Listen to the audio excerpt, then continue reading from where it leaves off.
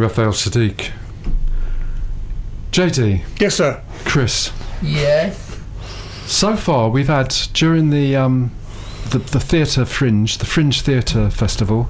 Are you? You're not still worried about Jim? Well, I am worried are about? Jim actually, uh, though I did see him. He was buying a newspaper.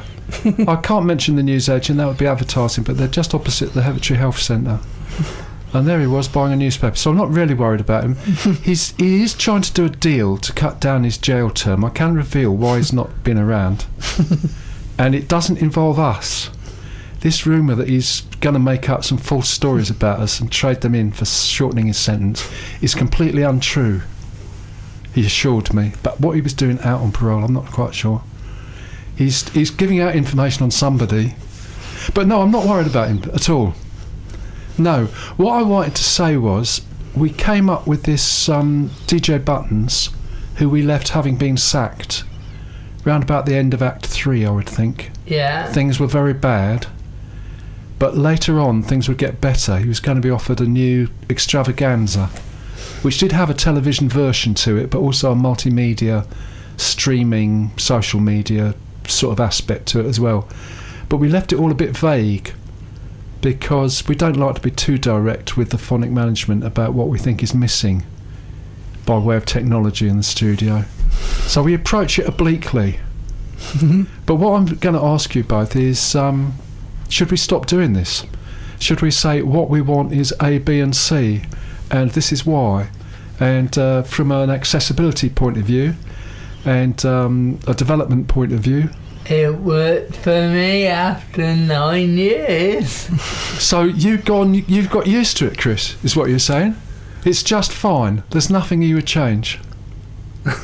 Um, I think I might change the desk being wobbly for nine years. Well, they've done that, haven't they? They have, they, Yeah, they've put a nail in the table or something. They, Nine years, so you're very happy with the wobbliness Yeah. of the desk. or non-wobbliness. and you you don't have a touch screen exactly apart from your phone which is about two inches by three inches or how many inches is it Um, it's five point four point seven inches by about three. So if there was a three foot touch screen hanging from the ceiling would that improve your situation very much? Um, oh, you'd hope it was connected to some. well yeah you're sh- assuming it was connected Can to we, can we just not hang Chris from the ceiling upside Ah, down? yes. Then he'd be able to see everything. well he would wouldn't he that's Yes. true yes all right we could do we could do it that way Yeah, we can We move do that around on a, like a, tripod. and, and JD apart from sending out still photographs every so often Hmm. As a video extravaganza, is there anything you would do about the lighting or the equipment or anything like that in the studio? Um, I, I would turn the lights on you turn as, the a- lights as, on. as a major, major contribution towards it. yes. So really, when it when it comes down to it, you're quite happy with things as well. There's nothing you can um, imagine that you might require Well, not for what we do right now. as a as a sort of I'm, I'm audio only FM signal. We can more or less cope. Yes. We can, Gosh.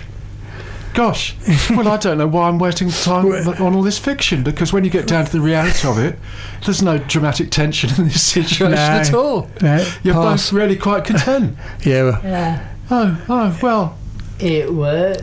yeah. When when Chris starts, we, you see, that's the nice thing. When Chris starts, we go and just have our coffee. That's all we do.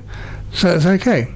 well that, Uh, yes, if only that we were don't true. need to be down here. We can listen to him. No, no. It's what, what you're saying is really in terms of just a two-hour FM radio show. Mm, It, would there's no problem. hmm So, how long do you think the audience are going to be happy with the sitting by their radio for two hours, hoping for the good bits to turn up? About one second.